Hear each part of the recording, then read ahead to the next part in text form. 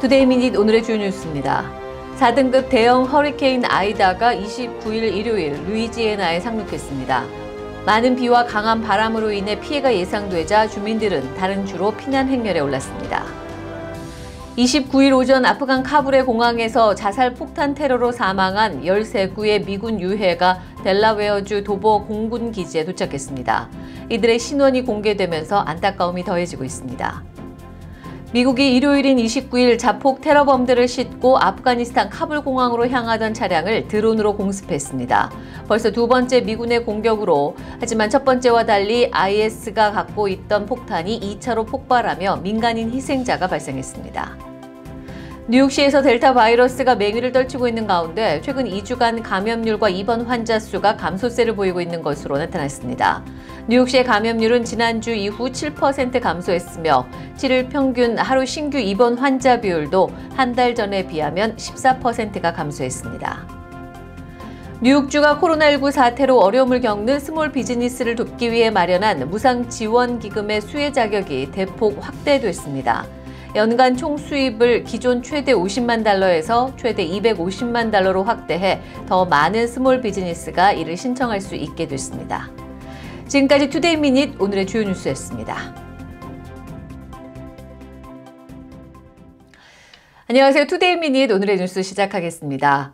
어, 미국은 현재 동남부 지역입니다. 어, 루이지애나주에 그 대형 허리케인 아이다가 상륙했습니다. 29일 일요일을 기해서 상륙을 했고요. 이게 지금 아이다가 굉장히 강력하고 위험한 4등급 허리케인이라고 합니다. 그러니까 최고 등급이 5등급이니까 바로 그 밑인데 뭐 5등급에도 거의 육박한다고 해요. 이게 바람의 속도에 따라서 나눠지는데 거의 5등급 수준까지 올라서고 있다라는 얘기가 나오고 있습니다. 아이다의 최고 풍속은 시속 230km. 1시간당 230km까지 올라갔다고 하니까 진짜 어마어마한 바람이 불고 있고 또 많은 비가 내리고 있거든요. 그래서 지금 뭐 뉴스에 나오는 걸로 보면 건물 안으로 막 비가 물이 물이 들어차기도 하고 뭐 바람에 뭐 건물 그 건그 그 조형물들 막 이런 것들이 쓰러지기도 하고 그런 모습입니다. 어 이게 지금 29일 일요일에 이제 상륙을 한다라는 소식을 듣고 전날인 28일부터 그래서 이 주민들이 이미 대피를 하고 있고 이 대피 행렬이 뭐 도로의 끝도 없이 줄지어 서 있는 어, 그런 모습들이 뉴스를 통해서 나오기도 했는데요.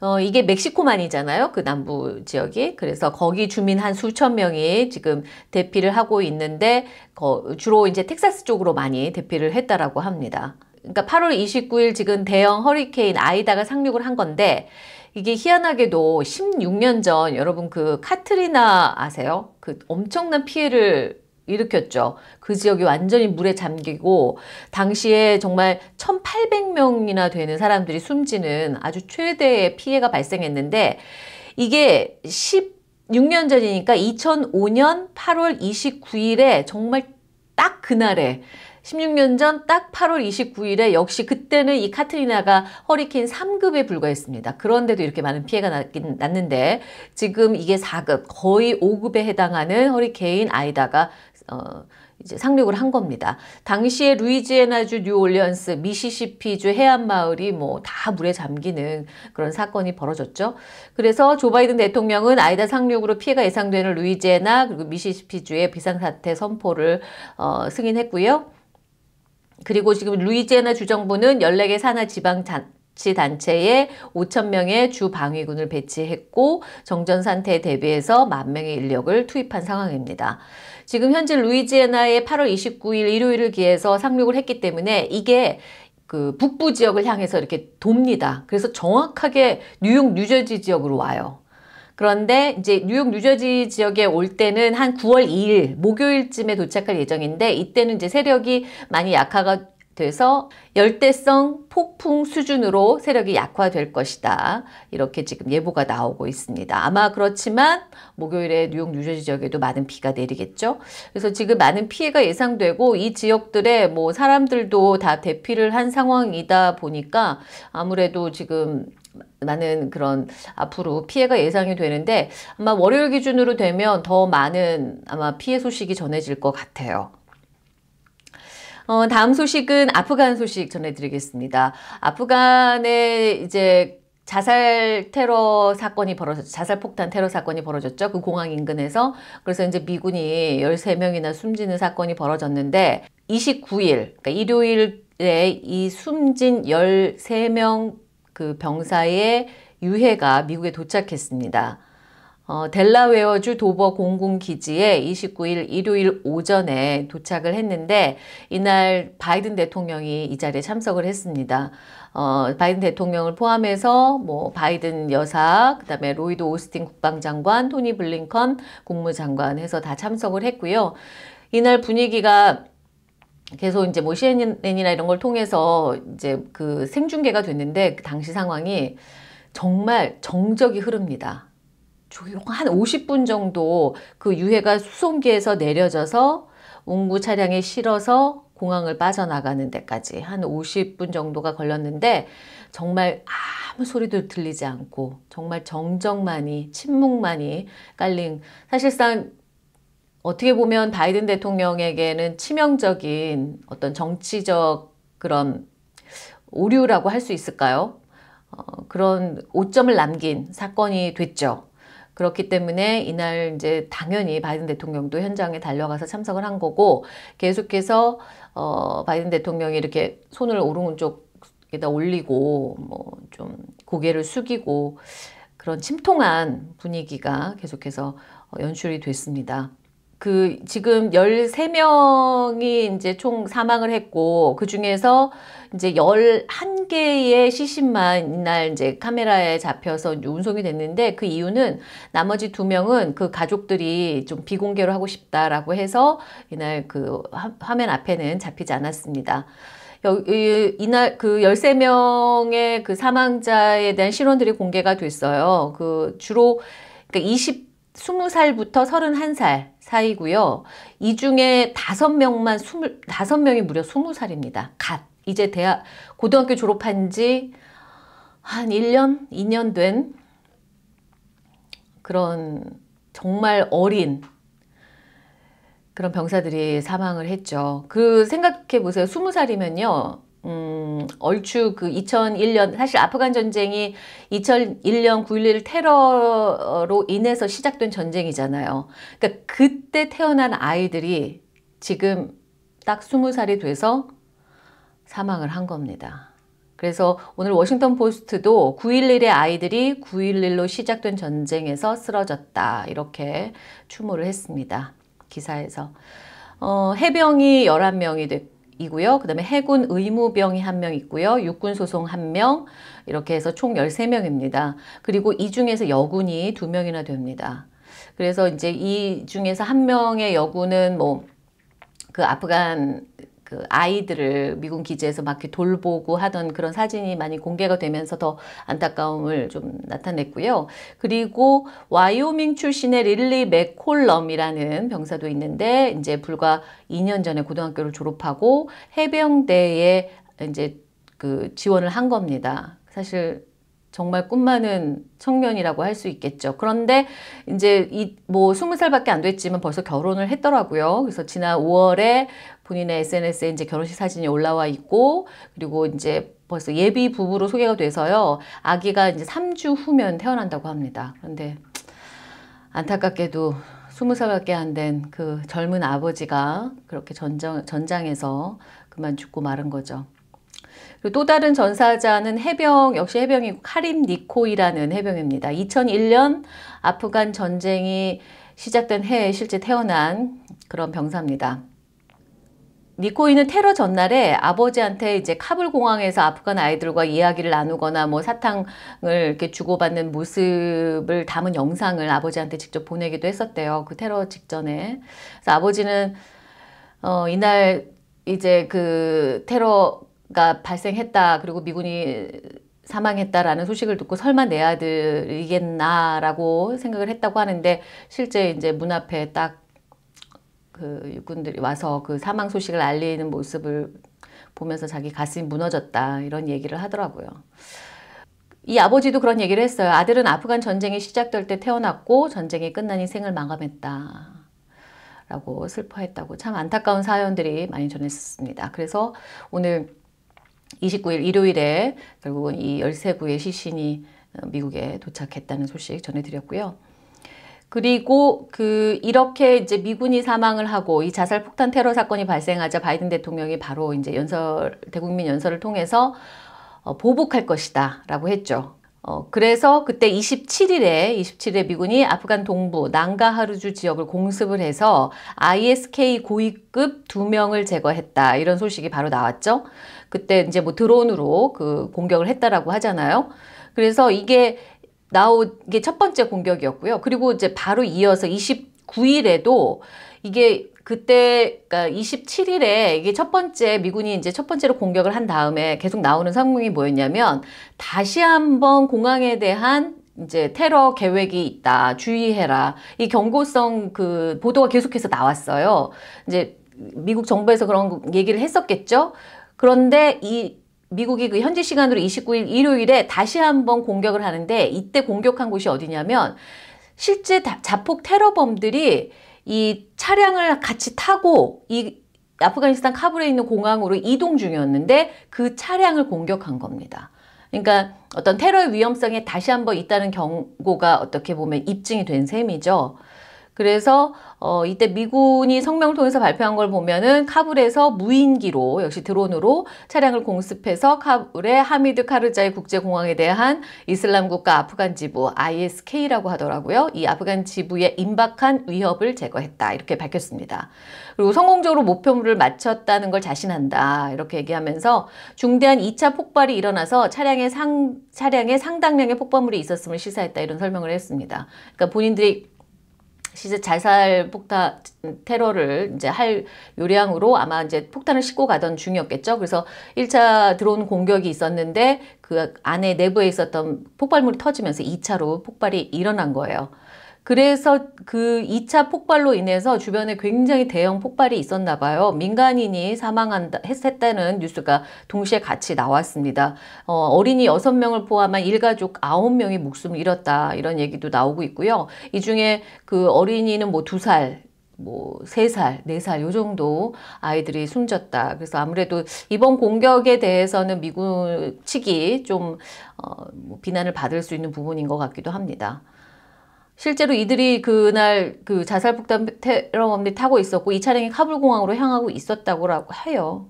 그러니까 다시 한번 그 폭발 사고가 있을 뻔했죠. 그런데 그 테러를 이제 미, 미리 사전에 이렇게 어쨌든 막은 겁니다. 이번이 그래서 두 번째 어 이제 공격이 된 거고요. 모르겠어요. 앞으로 더할 텐데 하지만 미국은 지금 31일을 기해서 전부 다 철수를 하겠다라고 31일부터는 더 이상 이제 현지인들을 수송하거나 이런 일들을 안 하겠다는 얘기잖아요. 그래서 31일 기점으로 어떻게 또 상황이 변할지 그건 모르겠어요. 그리고 현재 조 바이든 대통령이 이 아프간 내 이슬람 국가 분파 조직 공격을 위해서 백악관의 사전 승인 없이도 미군이 목표물을 타격하도록 했다라고 합니다. 그러니까 굳이 뭐 이게 일일이 허락받을 필요 없이 그 현장에 있는 미군들에게 모든 지휘권 넘긴 거죠. 그러니까 알아서 판단하고 공격해라. 그래서 지금 그렇게 진행이 되고 있고 아마도 31일 모든 미군이 떠나기 그 철수하기 전까지는 이런 계속해서 보복이 있지 않을까라는 생각도 듭니다. 첫 번째 공격했을 때 제가 그랬잖아요. 아, 어, 이슬람 국가 호라산 ISK를 공습했을 때 어, 사용한 무기가 사람들이 계속해서 닌자 미사일을 사용한 것 같다 뭐 이렇게 이런 뉴스들이 나오다가 결국은 공식적으로 이게 확인이 됐습니다. 닌자 미사일이 맞고요. 이 닌자 미사일이라는 게 어떤 거냐면 R9X라고 하는 게 이 미사일은 폭약이 들어있지 않고 표적에 충돌하기 직전에 6개의 칼날이 쫙 펼쳐지면서 그 적을 공격하는 그런 시스템이라고 합니다. 저도 직접 본 적이 없어서 자세하게 설명을 못 드리겠는데 이런 무기가 실제로 사용이 됐다라고 합니다. 좀 특이하죠. 그래서 이게 뭐 표적하고 충돌을 해도 폭발이 일지 않아서 그 외에 전혀 무고한 사람이 죽지 않는 않고 딱 그 표적만 향해서 어 이렇게 공격할 수 있는 그런 무기라고 합니다. 특이하죠. 닌자 미사일. 아무래도 이제 칼날이 있기 때문에 이런 표현을 쓰는 것 같아요. 그런데 사실상 그 월스트리트 저널이 이제 보도한 그 공습 현장 영상을 보면 그 이그 차량이 새까맣게 탔어요. 완전히 제가 저만 실제 뼈대만 남고 제가 됐는데 이런 걸로 봐서는 그러면 어, 그 닌자 미사일만 사용한 것 같지 않고 실제 폭발이 있었던 것 같은데 라고 이제 보도를 하니까 뭐 주변에 뭐 구덩이도 파져 있고 건물 창문도 날아갔고 뭐 파편 자국들도 있고 그렇다고 해요. 그래서 어 이제 월스트리트 저널이 얘기하는 거는 물론 이 닌자 미사일이라는 것이 사용이 된 것 같지만 그 작전에 여러 차례 공습이 이어서 있었지 않았을까라는 그런 해설도 하기도 했습니다. 그래서 1차 그런 좀 특이한 무기가 사용됐다는 면에 있어서 뉴스가 나왔길래 전해드렸습니다. 이번에는 코로나 바이러스 소식 전해드릴게요. 그 뉴욕이 뭐 처음 작년에 팬데믹 시작했을 때부터 사, 실 핫스팟이었죠. 전 세계에서 아마 가장 많은 감염자, 사망자, 입원 환자가 나왔을 겁니다. 그런데 지금 백신 접종 이후에 지금 다시 한번 미국이 막 이제 감염자들이 증가하고 있잖아요. 그런데 특이하게도 뉴욕시, 뉴욕시리에는 이 감염자들도 줄어들고 있고 입원 환자들도 줄어들고 있고 그런 추세가 나타나고 있습니다. 특이하죠? 지금 뉴욕에서 그 감염자들 중에 감염자들 중에 그 바이러스 검사를 해보면 다 델타 변이가 한 97% 대부분을 차지합니다. 그런데도 불구하고 뭐 지금 감염자 수와 입원 환자 수가 지금 다 감소하고 있거든요. 그 감염률은 일주일 전에 비해서 7% 정도가 감소했고요. 그리고 신규 그 7일 평균 신규 감염자 수들 이것도 크게 오르지 않고 그냥 안정세를 보이고 있는 거예요. 뭐 그 숫자에 크게 변화가 없고 그리고 입원 환자 같은 경우에도 한 달 전에 비해서 무려 14% 14%가 감소했습니다. 굉장히 많이 감소한 거죠. 그런데 최근 이제 사망률은 약간 증가한 걸로 나왔는데 이 사망률이라는 거는 약간 후속 후행 지표예요. 그렇기 때문에 현재 입원 환자가 줄어들고 있기 때문에 차차 이제 사망자 수는 또 감소할 수도 있다라는 얘기가 나왔습니다. 지금 뭐 근데 뉴욕시 다섯 개 보로는 그 질병통제 예방센터 기준 감염률이 높은 지역으로 지금 분류가 되고 있거든요. 그런데 이게 입원 환자 수, 감염률 자 수가 이렇게 특히 입원 환자 수 같은 경우는 14%가 감소한 거는 두 자릿수 대가 감소한 거란 말이에요. 뭐 상당한 감소세인데 이런 게 아마도 백신 접종이 이루어지기 때문에 나타난 현상이다라고 분석이 되고 있습니다.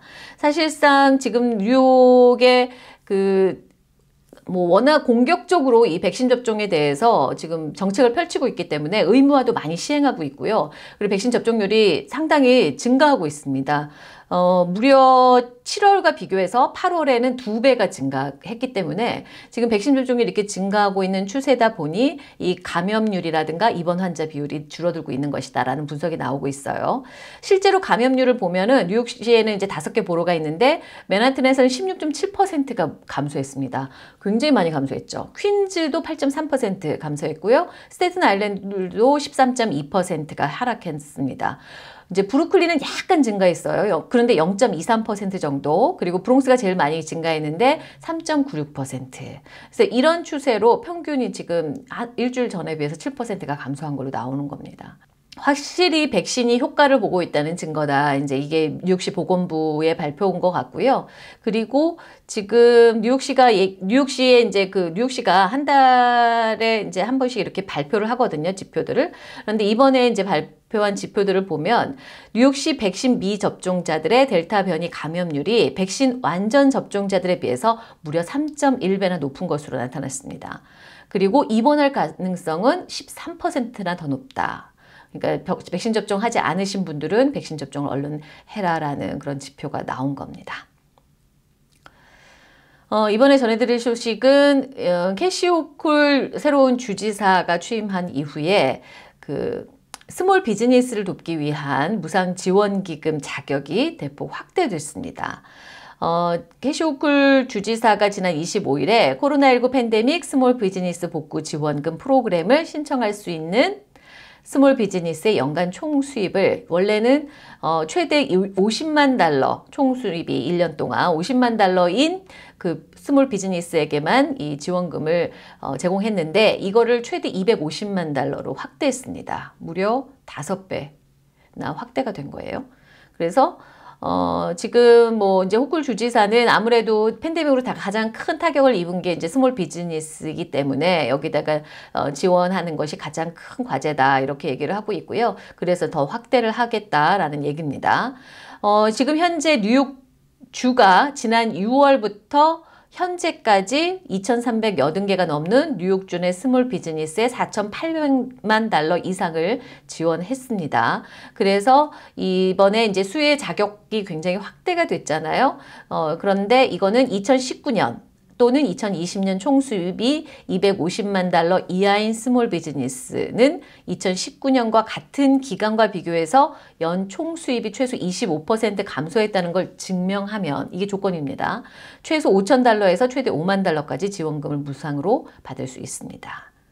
그래서 지원금이 2020년 3월 1일과 2021년 4월 1일 사이에 발생한 인건비, 그리고 뉴욕주에 기반을 둔 상업시설 임대료 또는 융자금 납부, 뉴욕주에 위치한 소규모 사업체와 연관된 지역 재산세 또는 교육세 납부, 보험료, 유틸리티 요금, 개인 보호 장비 구비 비용, 난방 환기 에어컨 비용, 기타 기계 또는 장비 비용 등으로 사용할 수 있습니다.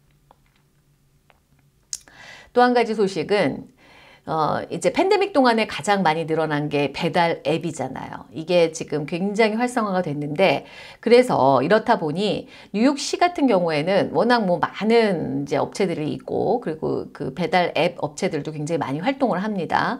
그런데 이 식당들에서 그 수수료를 이 배달 앱들이 떼가잖아요. 그러니까 식당들이 이제 힘들죠. 배달은 손님들은 안 오고 배달은 해야겠고 근데 수수료는 비싸고 그래서 뉴욕시는 15% 수수료를 넘지 못하도록 상한선을 정해놨거든요. 그 팬데믹 동안에. 그래서 15%를 넘지 못했는데 이번에 뉴욕시 의회에서 아예 이걸 영구적으로 그냥 15%로 딱 못을 박는 법안을 통과시켰습니다. 조례안을 통과시킨 거죠. 그래서 이제 앞으로 영구화됩니다. 그래서 지난 26일에 뉴욕시 의회에서 통과가 됐고요. 이제 어, 드블라주 시장 서명만 하게 되면 이제 바로 어, 법제화가 확실하게 되는데 대신에 이제 서명 이후에 120일 이후니까 한 4개월 이후에 발효가 되고요. 그리고 어, 그 전에 배달 서비스를 제공하는 그 업체는 뉴욕시 소비자 노동자 보호국에 매 2년마다 200달러짜리 라이센스 발급을 신청해야 됩니다. 그래서 그 라이센스 발급 신청한 사람들, 업체들만 배달 앱 운영을 할 수 있는 거죠. 그래서 뭐 이번에 포함되는 게 Grubhub, 다 여러분들 많이 쓰시는 Seamless, DoorDash, Uber Eats 이런 음, 업체들이 다 해당이 되고요. 식당의 주문당 15% 이상의 수수료를 청구하는 것을 금지하게 됩니다. 그래서 한결 식당들이 이제 운영하는데 더 좋아졌다. 그리고 이때 이제 시의회에서 통과된 법안이 또 하나가 있는데요. 그 이제 맨하탄에 가면은 특히나 타임스퀘어에 보면 이렇게 인형 탈 쓰고 있는 사람들 있죠. 그리고 뭐 그 자유의 여신상 이렇게 커스튬 입고 머리까지 다 쓰고 해서 그 사람들이 뭐 하냐면 사진 찍죠. 관광객들 막 이렇게 끌어당겨서 그런 사람들도 있고 뭐 스파이더맨 뭐 이런 거 복장해서 하는 그런 사람들이 있고 또 한 가지는 CD를 파는 사람들이 있습니다. 그러니까 불법 CD죠. 그런데 이거를 사실상 이제 여기 한국에 오는 유학생들이나 관광객들이나 정말 많이 당하죠. 왜냐하면 그냥 지나가는데 갑자기 잡더니만 이거 한번 들어봐. 그게 주면 어 그냥 주는 줄 알고 받는단 말이에요. 이미 이게 손으로 건네 가면 돈 내야 됩니다. 그 사람들이 돈 낼 때까지 끈질기게 거기서 그러고 있는 거죠. 그러니까 순진한 사람들은 거기서 이제 돈을 내고 이렇게 하기도 하고. 그런데 얼마 전에 왜 지난 6월에 이 타임스퀘어 한복판에서 이 불법으로 CD 판매하던 사람들하고 이제 행인들 간에 이제 시비가 붙은 거죠. 아무리 돈을 나, 내라 뭐 안 한다 뭐 이런다가 말다툼 끝에 총격 사건이 벌어진 일이 있었어요. 그래서 이제 안 되겠다. 여기에 대한 단속이 좀 필요할 것 같다라고 생각해서 뉴욕시 의회가 여기 좀 금지 행위 금지 조례안을 통과시켰는데요. 어떤 거냐 하면 타임스퀘어 이제 브로드웨이 일대이죠. 브로드웨이 40가부터 50가 사이에서만 이들은 호객행위를 할 수 있어요. 이제 앞으로. 그 지역을 벗어나는 건 금지됩니다. 이 조례안이 통과가 됐어요. 그래서 이제 요 안에서만 해라. 다른 데로는 가지 못하게끔. 그래서 조금 좀 사실상 이게 좀 관광 왔고 기분 좋게 돌아다니는데 사실 이 사람들이 굉장히 호객행위를 적극적으로 하거든요. 그리고 그냥 사진 찍자 찍어줄게 그냥 지나가는 사람인 줄 알고 사진 찍어주 주면 우린 좋죠 관광객들 입장에서는 근데 찍으면 돈 달라고 하거든요. 그래서 그런 거 잘 모르고 당하시는 분들도 많은데 이 사람들에 대한 어떤 그 활동 범위를 이제 규제하는 그리고 이제 폭력적이 사실 그 인형 탈 쓰고들 서로 막 미키 그때 미키 마우스하고 미니 마우스하고 누군가가 싸웠어요 한번 그런 일도 있고요 서로 막 싸우고 난리도 아닙니다 왜냐하면 내 손님을 네가 뺏어갔어 이렇게 하니까 정말 그 관광 지역군 그 지구인데 거기가 그래서 사람들 눈살을 찌푸르게 하니까 이번 이런 조례안들도 나왔다는 거. 이 소식까지 전해드렸습니다. 오늘 투데이 미니스는 여기까지입니다. 감사합니다. 구독, 좋아요, 알림 설정 부탁드립니다.